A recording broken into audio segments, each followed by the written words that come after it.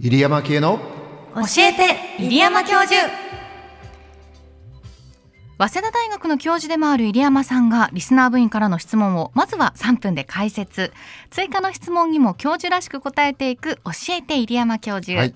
匂いをね匂いを引きずったまま引きずってます答えていこうと思います。あったんじゃないかなって思っちゃうけど。あね曲とかね。でもちょっとこのコーナーで行かれると困っちゃうんで。そうですね。はい、ここはちょっと我慢してください、えー、横浜市にお住まいのラジオネームゆきうさぎさんからいただきありがとうますございます、年末ジャンボの時期ですね、うん。宝くじに関するアンケート記事を見たのですが当たった額が1000万円までなら貯蓄したい人が多く1億円を超えたら土地や家に使いたい人が多いそうです、へえへえ入山教授的に当たった場合の賢い使い方はあるんでしょうか？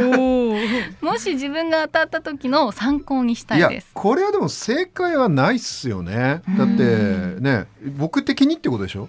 だからちょっと今日はあの僕的に僕の主観であくまで僕ならこういう使い方しますよっていうことを、まあ、仮に、まあ、1億円なのか5,000万円なのか分かんないけど、まあ、そのくらい当たったイメージで、はい。はい。そ、あのこれ全然正解じゃないですからね、うん。僕ならこういう考え方があるんじゃないかなって思ってるっていうお話をしたいと思います。ね、でも、はい。け経営学者のそのはい使い道が聞けるっていうことでうん。何かしら参考になるかもしれない、はい。以前あの期待値的にね宝くじを買うのはどうなのかっていうのを、はいはい。うん本当に経済的にね細かく教えていただいたんですけれども、うん今日は当たった後の話ですね、まずは3分でお話しいただきます。それでは用意スタートはい、あのね、これね考えるので重要なのはねフローとストックっていう違う概念をかあの理解しないとダメなんですね。フローって何かっていうとこれそういう経済用語なんですけどその一定期間内に自分が得たお金の子だと思ってください。例えば年収、年収って1年間の中で自分がいくら稼いだかってことでしょ、うん年収500万円を1年間で500万円稼いだってことなんで、うん。こういうのはフローって言うんですよ。それに対してあのある一定の期間でその人がドーンと持ってるトータルのお金こういうのをストックって言います。まあ、簡単に言うと資産ですね。でもこれこれ違うでしょ。毎年、あのフローっていうのは500万円500万円500万円っていくんだけど、うん。ストックは例えば1000万円持ってたら、うん。来年もそのまま1000万円かもしれない、うん。そういうもんなわけですね。うん。全然違う概念なんですよ。で僕はあの一学者としても一個人としてもフローの増やし方とストックの増やし方違うなと思ってて、フローは頑張るしかない。年収とかだから、だけどストックは持ってる資産なんで、うん。一番増やすのが効果的な方法は間違いなく投資なんです、そのストックを切り崩して他未来に投資をするとそのストックがもっと増えていく、うん。だからで今回の宝くじっていうのはストックなんですよ、フローじゃないでしょ。来年1億円もらえないでしょ、うん。今回もらたまたまストックが1億円増えちゃったんですよ、うん。ということはストックが1億円奇跡的に増えたわけだから、うん。そこからは1億円をうまく切り分けながら未来に投資をするしかないんですね、だから僕ならまず投資をします。じゃあどういう投資をするかっていうとここから個人の哲学の問題ですけど、うん。僕は投資自分あのいろんなことの投資って価値を上がった方がいいわけだから、うん。価値を上げるんだけど自分も幸せになりながら価値を上げたいんですよ。あ単に株をと買ってるとお金儲かるかもしれないけどと資産増えるかもしれないけど自分がハッピーじゃないかもしれないでしょ、だから僕はそういうものがやりたくて例えば自分が幸せになりながらできる投資ストック型の投資っていうと例えば車。車ってあの今ヴィンテージカーってあるんですよ。うん。で例えば1億円当たったらだよ、ポルシェを買うとポルシェというのは実は今買うと10年後で売るとねもっとね高く売れるんです。でしかも車好きなら幸せじゃないですか。だから幸せなまま価値も上がるんで1個はヴィンテージカー。それから別に重要なのはやっぱ自分ですね。自分にちゃんと投資をすると、うん例えば僕運動するんでテニスを最近始めたんですけど、もっとテニスコーチとかに投資をしたあらー。自分の能力が上がるだけじゃなくて、はい。自分が健康になるでしょ、うん。健康になったらビジネスマンとしての自分の価値も上がるじゃないですか、で幸せにもなるでしょ、そそれからあと子供ですね、うんとか家族、うん。家族にもちゃんと投資をして例えばうん。教育とかおおしたり奥さんにも何か買ってあげたりするとみんなハッピーになるから、うん。それは自分のハッピーにもつながる投資じゃないですか。で最後は多分僕だとちょっときれい事かもしれないけど世の中で、社会でやっぱり世の中が未来に良くならないと自分も幸せにならないから多分世の中の役に立つようななんか寄付的なこととか、うんうん。環境への貢献とかっていうところに全部じゃないかもしれないけど自分のストックの一部を投資すると思います。あー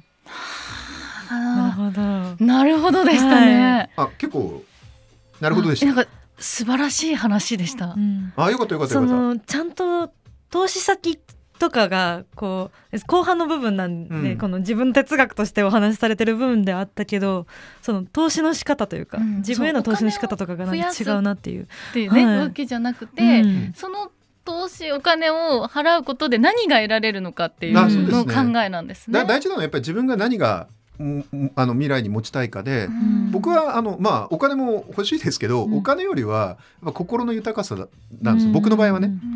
うんだとするとあの株に投資するのもいいことだと思うけど僕はもっとだ自分とか家族とかに投資したいなっていうのはいつも思ってますね。うん。はい。うんなんかず考え方として、うん。こんぐらい得をしなきゃとかうん。なんかそういうこと考えちゃいますけど、うん。もっとこうほねお金だけじゃないですね。数字だけじゃない見返り。うん。あのノーベル経済学賞を取ったディートンっていう先生がいるんですけど、うん。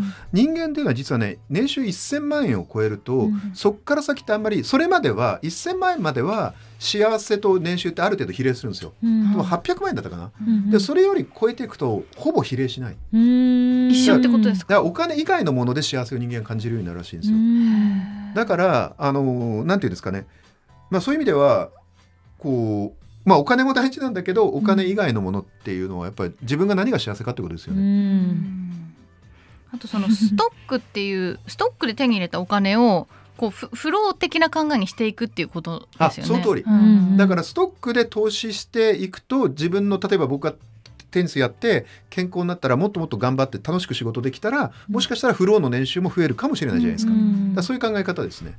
はいうんなんか当たってよかったじゃだけじゃないんだなって思いましたね。なんか「奥男」っていう小説あったじゃないですか。